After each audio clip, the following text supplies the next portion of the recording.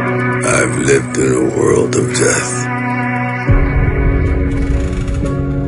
I've watched people I've loved die.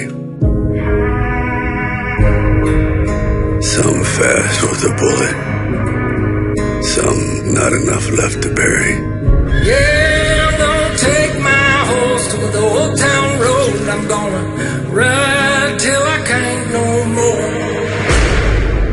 All these years I've kept my secrets. But the time has come to face my past. And if it comes looking for me, they will welcome death.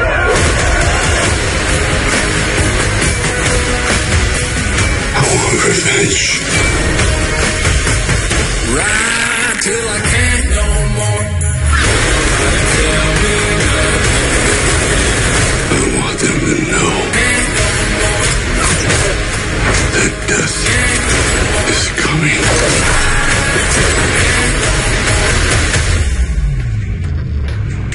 There's nothing they can do to stop it.